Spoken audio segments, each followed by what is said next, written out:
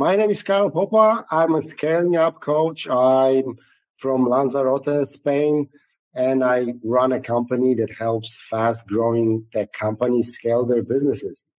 Awesome. And what's your native language, Carl?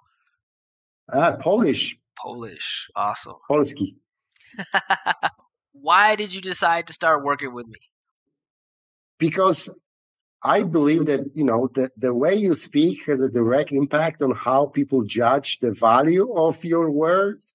So if you don't like me speaking or my speaking, it hurts your ears. You will not hear me, right?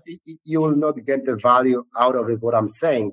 So if I want to do a great job, it should be easy for you to understand. And that's why I've decided I needed to work on my pronunciation, on my voice, on my speaking ability, just because I knew that if I want to provide value, the listener needs to understand me uh, without any trouble. Yeah, exactly. Sometimes it's a little bit distracting if the speaker's not totally clear or the message isn't hitting their ears the way that they expect it to. So, yeah, that makes sense. What doubts, if any, did you have about like your accent or about the, what you could get out of the program before you started? Uh, not to the program, you know. Uh, it was just about me being aware how I sound uh, and that it wasn't the quality, you know, and my skills were weren't there where I wa- wanted them to be. So I've just decided to look for a coach, a trainer that could help me with that. And I was watching some videos, demo videos of coaches, and I found you, and I said, "All right, I like this guy." And then we had a first lesson, and then we stayed for a long time together. Yeah, it's been a while. I think I even had longer hair back then as well. Yeah, yeah. That's true. Can you talk about some of the specific things that you learned from the program?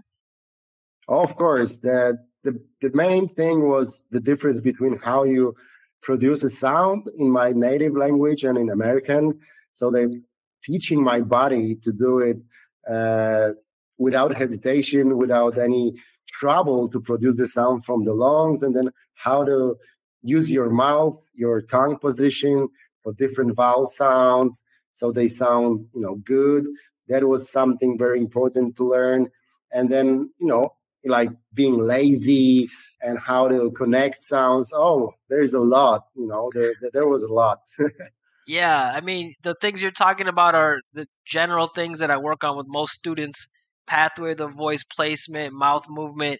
I think you really came a long way just creating a lot smoother, connected sound, like you said, placement. Uh, and I can really see a huge difference. I'm sure you see that difference when you go back and look at some of your old homework videos as well.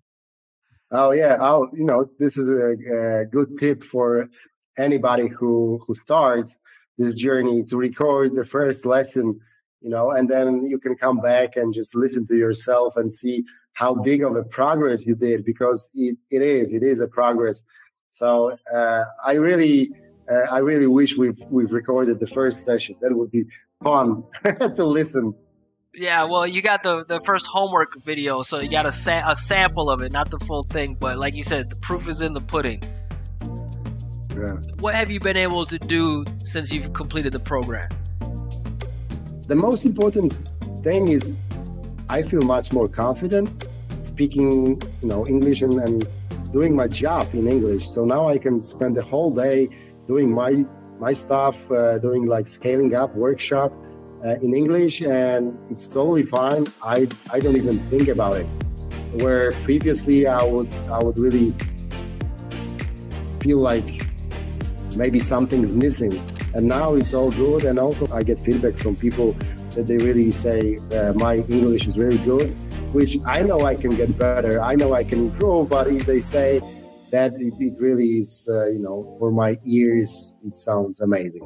Yeah, well, we're all winning from that if you're feeling more confident about speaking because you're a really funny guy and we don't want you to hold back on any of those jokes. I mean, you really make people smile. That's one of your skills. what advice or what tips for success would you give a student who's just beginning to start training accent pronunciation with you? Yeah, so uh, listen to Josh. Practice your practice your you know your body uh, basically at the start to so you can you can you can produce those sounds like automatically, and then I would say record yourself. Uh, practice reading aloud, and then record yourself and listen to yourself, and even try to give yourself feedback. Like if you were to teach yourself what would you do differently? What would you improve? What would you correct to be even uh, be even better? And then confront your feedback with with Josh, and then work on it. So I think this this worked at least uh, great for me. Yeah, that's awesome advice. I mean, that's one of the main parts of the program that I try to do is get you guys to be able to guide yourself to really know exactly what direction to head in and how to identify whether or not you're reaching your goal. So I feel like you've really reached that and you're doing a good job of it. So I'm happy for your results, man. And you know, it's been great working with you and to continue working with you. I'm looking forward to it, man. Yeah, thank you, Josh.